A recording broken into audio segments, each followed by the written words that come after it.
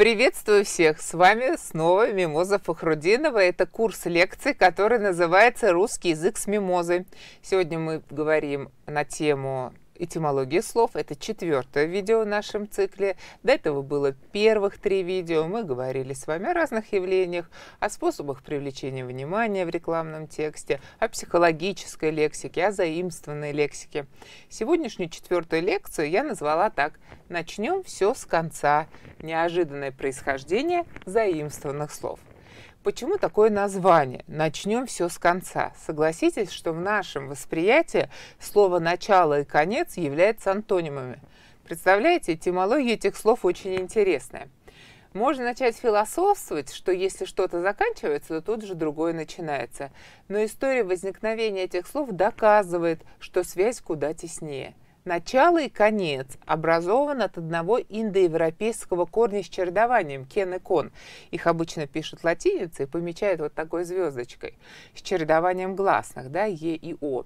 От слова кон образовалось слово конец. Со словом начало, конечно, было тяжелее в том плане, что там произошли различные языковые явления за это время, но оно, тем не менее, превратилось в слово начало. И, возможно, вот смотрите, вы слышали фразу «испокон веков». Смотрите, испокон веков связано со словом конец, хотя в принципе имеет значение с самого начала, да, испокон веков.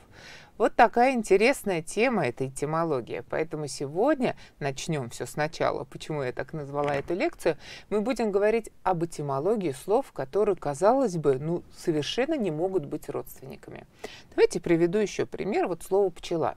Если я вам скажу, что слово «пчела» является родственником к слову «бык», вы скажете, да нет, быть не может. На самом деле может.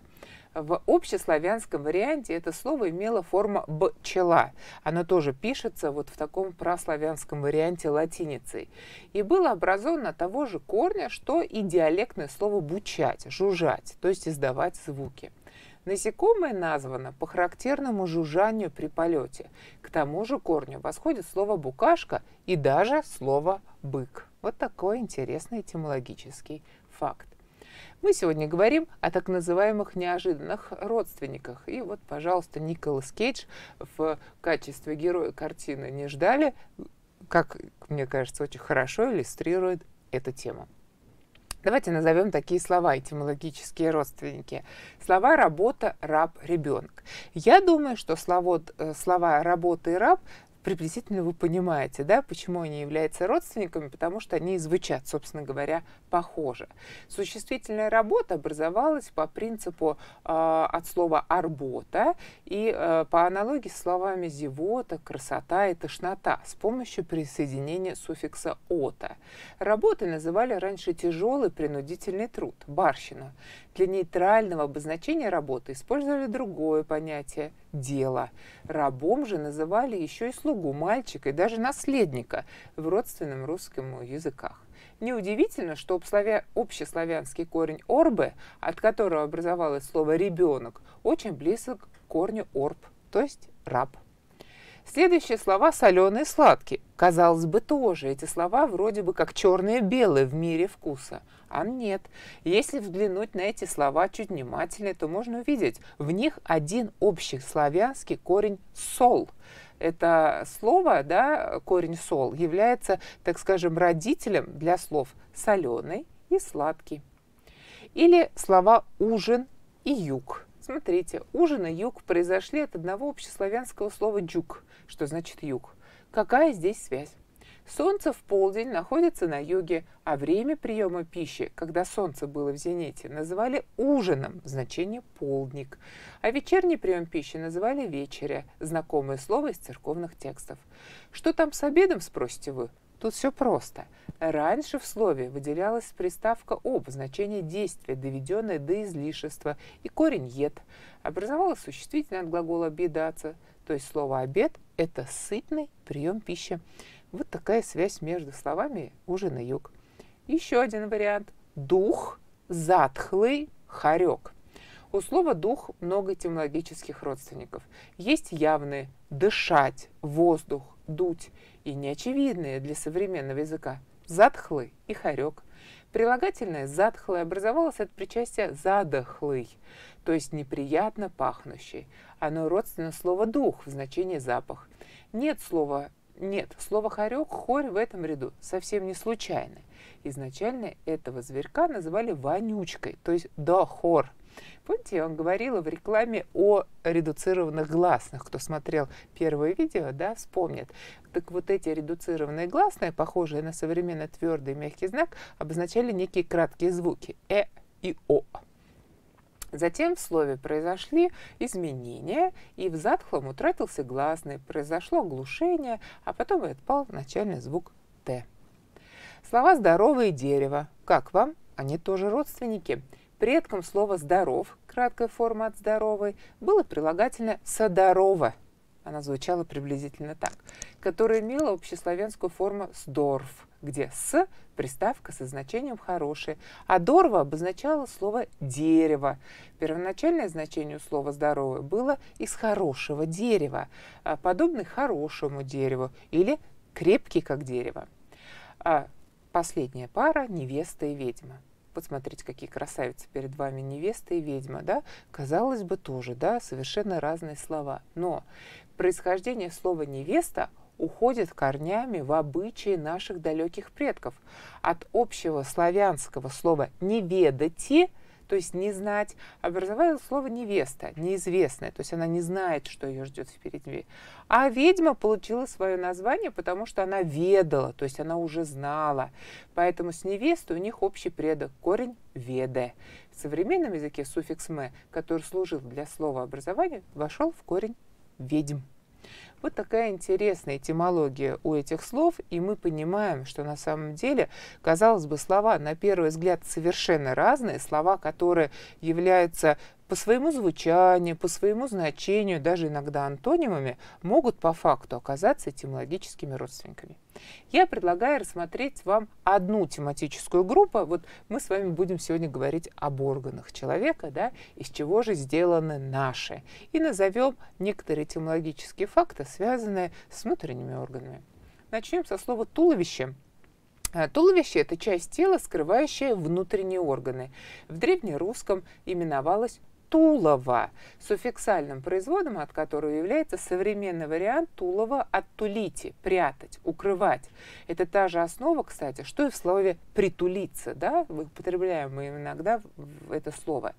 Вероятно, корпус человека или животного рассматривался как футляр для внутренности, и слово «тул» – это сумка для стрел, да, что тоже, кстати, является футляром. Да, и слово «колчан» известно ну, и сейчас. Вот это вот туловище. Давайте посмотрим на слово печень. Словари фиксируют слово «печень» с 15 века. До этого времени употреблялось «ятро», которое первоначально имело значение внутренние органы вообще, а затем закрепилось только за печенью и почками. Само слово образовано от «печен», страдательного причастия прошедшего времени, которое восходит к слову «печи», ну или печь. Буквально печень жареная, так как этот орган являлся внутренностью потрохой для запекания.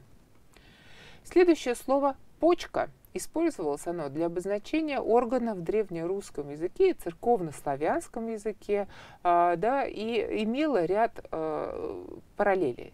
Это слово «иста» или «исто», «бубрек», ятро и другие. А слово почка чаще выступало в другом значении, единицы веса. Одна почка равно 1,25 золотника, то есть 171 а, миллиграмм. Привычном нам значении слово почка восходит к глаголу пекти или печь, который употребляется с 15 века слово «желудок». Да? Мы продолжаем тему происхождения внутренних органов. Давайте рассмотрим слово «желудок». А, считается, что это исконное слово восходит к «желот», желудь, поскольку сам орган по форме напоминает плод дуба. В древнерусском языке долгое время существовал ряд названий для обозначения желудка. Это и стомах, и сырище, и утроба. С давних пор употреблялось слово «желудок». Со временем которое закрепилось в русском языке, то есть оно осталось одно из ряда параллельных вариантов. Давайте возьмем слово «легкое». До XVI века этот орган называли плюща или клюща или даже душник. При разделке туши съедобные внутренности кладутся в посудину с водой, причем легкие остаются на поверхности воды, а сердце и печень погружаются. Такое пояснение дает в своем словаре Макс Фасмер. Макс Фасмер, создатель этимологического словаря русского языка, большого издания, и несмотря на то, что прошло много времени, это э, словарь до сих пор пользуется популярностью, авторитетом, и мы к нему обращаемся. Это слово закрепилось в русском языке и связано оно с прилагательным легкий, естественно. Знаете, не могу не пошутить на эту тему. На экзамене студенту-пульмонологу достался вопрос не из легких. Это опять же иллюстрация языковой игры. Если студент-пульмонолог, то вопрос из, не из легких, опять же, возра... знаете, обрастает различными смыслами. Помните, в первом видео про рекламу я вам говорила про каламбур. Так вот, здесь слово легкий тоже имеет прямое и переносное значение. Но смотрите, этимология – это происхождение слов, но даже вот в том а, современном языке, который мы с вами используем, происходит явление, когда слово меняет свое значение. Не то чтобы старое значение вообще утрачивается, но новое значение становится гораздо более актуальным. Давайте мы посмотрим несколько слов, которые имеют новые значения, накладывающиеся на старые. Вот слово «бровист». Да, старшее поколение знает Брежнева с характерными, да, соответственно, чертами лица. Сейчас бровистом называют мастера по оформлению бровей. Или слово «боты». Естественно, боты, ботики дети носят дождливую погоду и сейчас. Но согласись, как, согласитесь, когда мы произносим слово «боты», то в современном восприятии оно воспринимается уже через призму телеграм-каналов, да, ну или вообще каких-то накруток раскрученных э, подписчиков, так скажем, да, мы называем ботами. Вот видите, как э, слово обрастает новыми значениями в современном русском языке.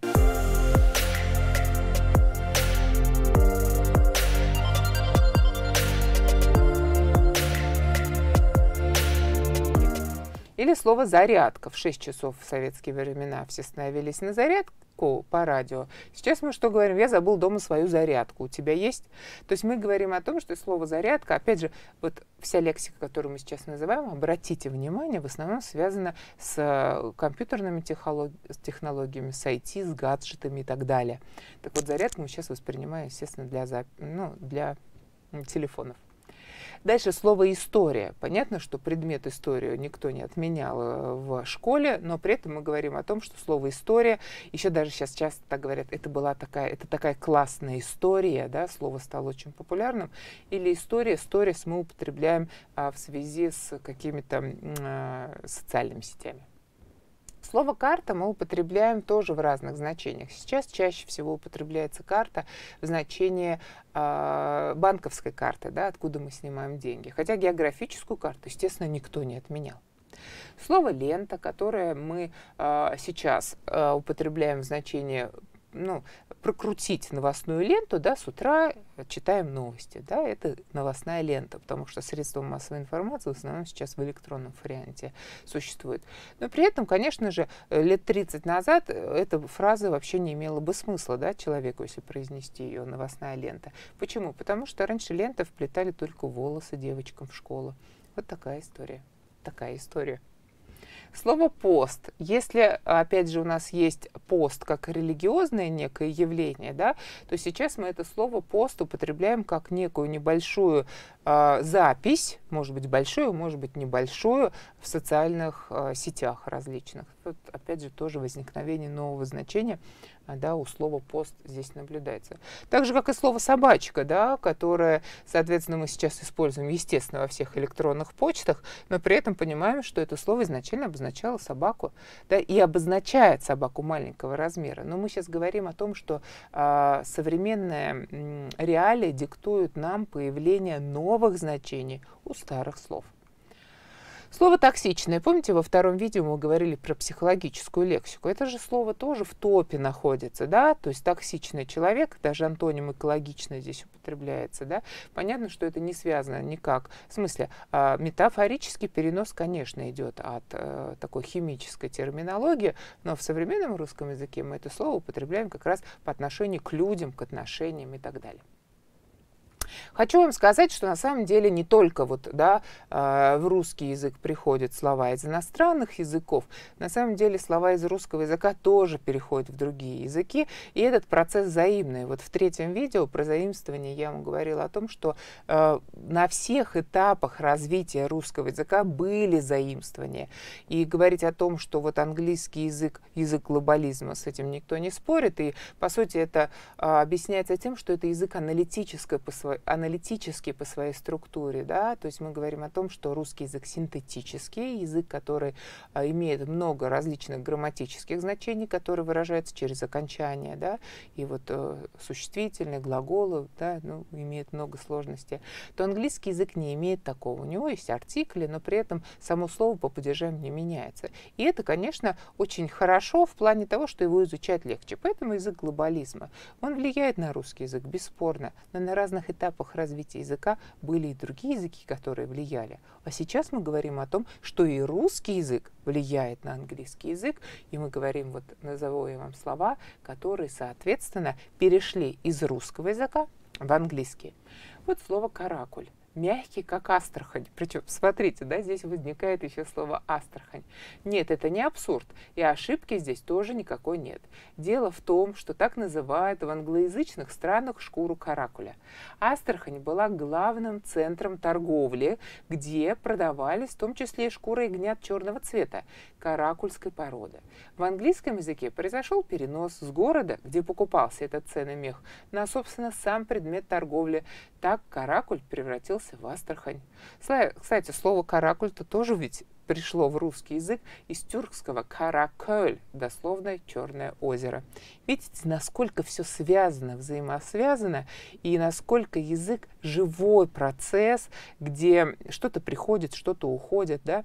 Мы наблюдаем за этим процессом. И на самом деле это очень интересно. Слово «бабушка», точнее его произносят э, «бабушка», да, американцы, русской бабушке не страшны ни расстояние, ни языковой барьер. Она оказалась настолько колоритной, что англичане не смогли пройти мимо и заимствовали это теплое и родное нам слово в свой язык, расширив значение. Там оно может встретиться не только в значении «русская пожилая женщина», но и как обязательный атрибут бабушек – косынка, завязанная под подбородком. И вот это вот стиль завязывания косынок используют американские рэперы, да, бабушка. Белуга и стерлядь. С развитием торговых отношений между Англией и Россией иностранцы столкнулись с тем, что для многих товаров, которые пришлись им по вкусу, просто нет названия в их языке. Стерлядь с ее нежным и деликатным по вкусу мясом и крупнейшие из осетровых белуга так часто становились предметом торгов, что англичане решили перенять у русских торговцев оригинальное название этих рыб – белуга и стерлядь. Степи тундра – это тоже слова, которые возникают, ну, естественно, в путешествиях по России. Мы живем с вами в большой, уникальной стране по своим географическим особенностям, поэтому и англичане удивлялись обширным степям, которые на Туманном Альбионе просто нет места. И чтобы иметь возможность описать специфический природный ландшафт России, из русского языка было заимствовано слово «степь». То же самое произошло и со словом «тундра», которое, кстати, встречается при описании географических особенностей Аляски. А слово «мамонт» оно заимствовано англичанами из русского языка как название доисторического животного, впервые найденного в России, а еще используется в английском языке в значении «громадный», «спалинский». Вот такие слова э, перешли из русского языка в английский, как и слово «соболь». Россия всегда славилась своими богатыми красивыми мехами. В их число входили соболиные шкурки. Именно от славян дорогой мех этих зверьков попадал в другие страны, потому что использовался в качестве денежной единицы. Так вместе с пушниной в английский язык проникло слово «sable», то есть «соболь». Смотрите, мы с вами назвали слова, которые перешли в английский язык, мы с вами назвали интересные примеры этимологических родственников, таких неожиданных на первый взгляд, но по факту, да, они имеют общее индоевропейское происхождение, а многие европейские языки, и русский язык в том числе, восходят к одному индоевропейскому языку, это самая большая макросемья языков.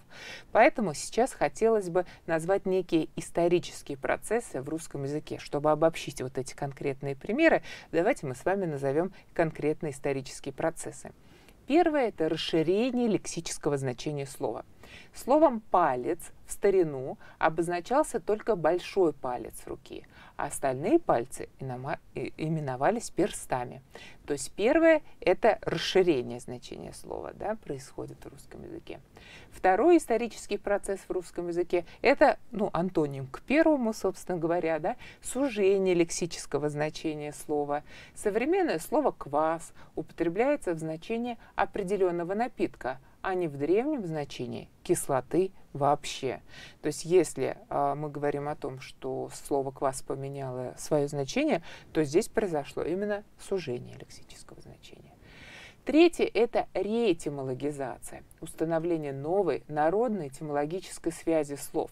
Вот смотрите, многие старички говорят нервоз вместо невроз, потому что нервоз ближе к слову нерв, согласитесь, да? Вот здесь вот, вот это и есть ложная этимология народная, когда слово произносится так, как э, ну, носитель языка считает логичным, хотя на самом деле это ошибка. И четвертое – это деэтимологизация, утрата производным словом связи с производящим в сознании ныне живущих людей. Вот слово «окно» утратило свою связь со словом «око». Согласитесь, мы их сейчас как родственников не идентифицируем, хотя они таковыми и являлись. Или слово «мешок» от слова «мех» образовано, хотя в современном русском языке и школьникам будут говорить о том, что в слове «мешок» все корень. На самом деле исторически здесь корень «меж» и суффикс «ок». А вот это чередование хэшей – это тоже процесс, который в русском языке происходил. Смех смешной, да, то есть здесь очень много примеров. Да. Поэтому говорим о том, что вот эти процессы в русском языке, они непрерывно происходят. Лексическое значение может расширяться, лексическое значение может сужаться, может наблюдаться реэтимологизация, народная этимология, и может наблюдаться деятельность этимологизация, то есть утрата производного слова, связи с производящим. Еще одно явление я вам хочу назвать, очень, как мне кажется, интересное явление. В русском языке существует такое понятие, как энантиосемия. Энантиосемия – это внутрисловная антонимия. Например, у слов «прослушать», «просмотреть», «завязать», «запах», преданной, бесценной, блаженной. Значение зависит от контекста и цели высказывания. То есть смотрите, если я говорю, я внимательно прослушал все выступление, вот вы внимательно прослушаете или просмотрите весь курс «Русский язык с мимозой», который состоит из пяти лекций. А второй вариант, я могу сказать так, ой, я вообще все прослушал и ничего не понял да, то есть я невнимательно это делал. Вот это и есть энантиосемия, когда у слова есть два значения, и эти значения противоположны друг другу по смыслу.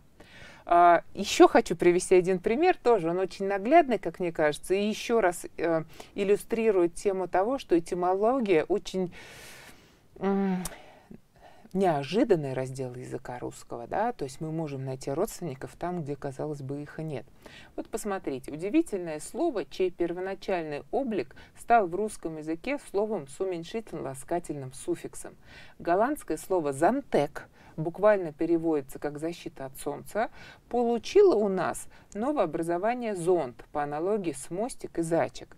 То есть первая реакция какая, когда я называю слово зонтик? Ну, наверное, оно образовано от слова зонт с помощью суффикса «ик». На самом деле было по-другому. Сначала пришел зонтек, который превратился в зонтик да, в русском языке, а потом уже «ик» отрезался и получился зонт. Видите, какие неожиданные вещи могут вылезти в русском языке. Вот о всех этих вещах, а, которые а, в нашем курсе «Русский язык с мимозой» мы проговариваем, вы можете еще и послушать в моем подкасте «Азы языка». Вы можете набрать в поисковике это словосочетание или перейти по QR-коду.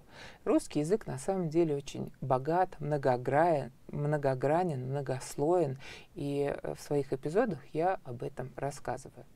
Ну что же, на этом мы заканчиваем с вами четвертый эпизод, который был посвящен этимологии слов. Мы называем его «Начнем все конца», а следующее пятое видео будет заключительным. Благодарю вас за внимание.